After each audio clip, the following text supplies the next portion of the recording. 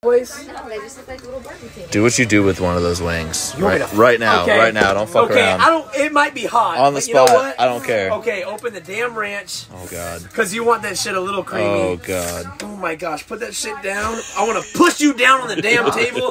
I want to make it drip. Watch this, watch this. All you need is one drip. One. Take that shit to the fucking head.